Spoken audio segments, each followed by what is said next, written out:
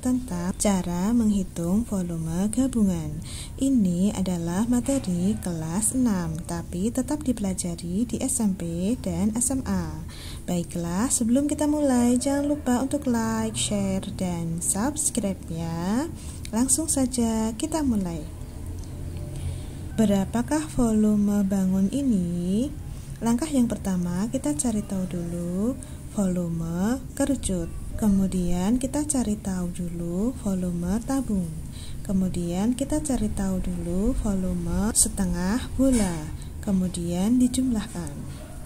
Rumus volume kerucut adalah 1 per 3 dikali luas alas dikali tinggi Ini berarti 1 per 3 dikali Pi dikali R dikali R dikali T Ini berarti 1 per 3 dikali Pi. Diameternya 20 cm 20 cm bukan kelipatan 7 Jadi Pi nya adalah 3,14 dikali R nya 10 dikali 10 dikali 3 3 dibagi 3 sama dengan 1 3 dibagi 3 sama dengan 1 Jadi 3,14 dikali 10 dikali 10 Ini hasilnya adalah 314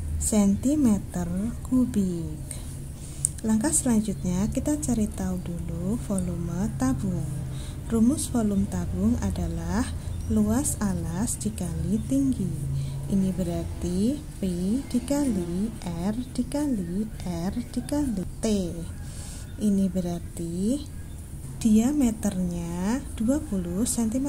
20 cm bukan kelipatan 7. Jadi P-nya adalah 3,14 dikali R nya 10 dikali 10 dikali 2 ini hasilnya adalah 628 cm kubik.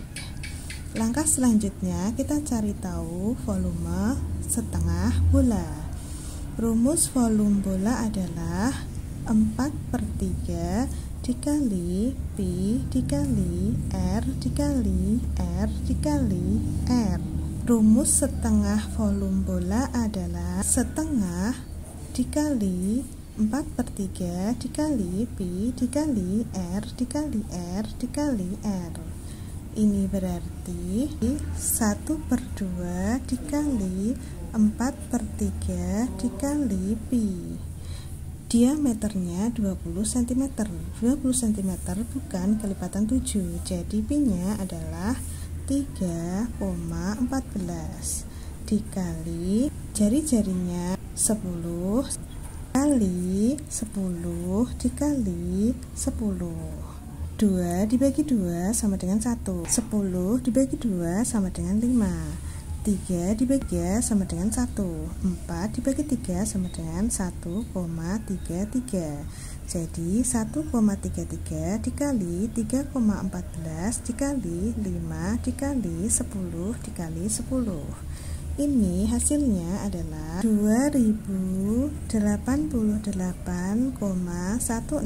cm kubik. Jadi volume gabungannya adalah 314 ditambah 628 ditambah 2088,10 ini hasilnya adalah 3030,10 cm kubik Baiklah, cukup sekian dari Kak Sarah. Jangan lupa untuk like, share, dan subscribe ya. Sampai jumpa di video selanjutnya. Assalamualaikum warahmatullahi wabarakatuh. Sampai jumpa.